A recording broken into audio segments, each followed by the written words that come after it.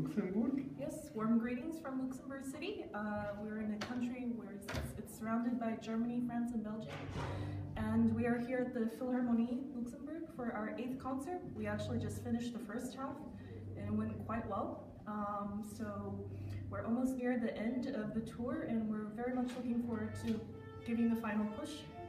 Yeah?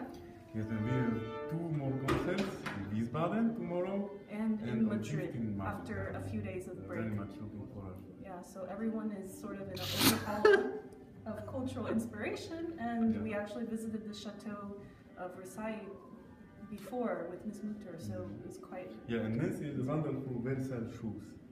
See? Original Versailles shoes. So, okay, so everyone, please support us with this adventure with Ms. Mutter, and we look forward to coming back to you again. Bye. Bye.